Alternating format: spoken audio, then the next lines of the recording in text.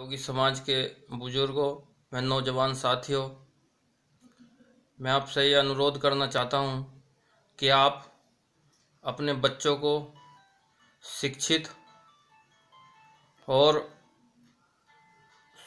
शिक्षित और संस्कारवान बनाएँ, जिससे योगी समाज के आने वाली पीढ़ी का विकास हो और वो व्यापार की तरफ़ अग्रसित हों। मेरा आपसे सभी योगी बंधुओं से अनुरोध है कि अपनी बच, अपने बच्चों को ऐसी प्रोफेशनल शिक्षा दिलाएँ जो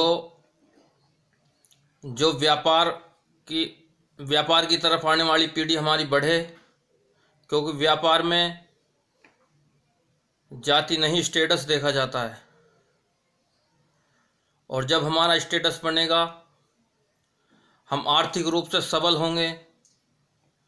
जब भी हमारी आने वाली पीढ़ी को एक समाज में वो स्थान मिलेगा जिससे हम जिससे हम वंचित रहे हैं। मेरा आप सभी से अनुरोध है कि अपनी बच्चों को जो हमारा जो हमारा एक व्यवसायिक रूप था, योग। आप अपने बच्चों को योग की तरफ़ अग्रसर करें और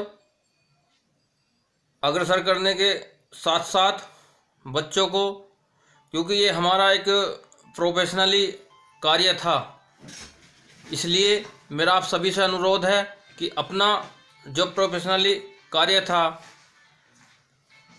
योग का आप योग को ज़्यादा से ज़्यादा बढ़ावा दें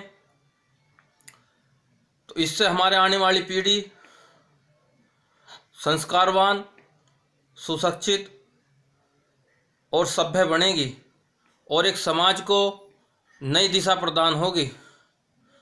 मेरा आप सभी से अनुरोध है कि अपने बच्चों को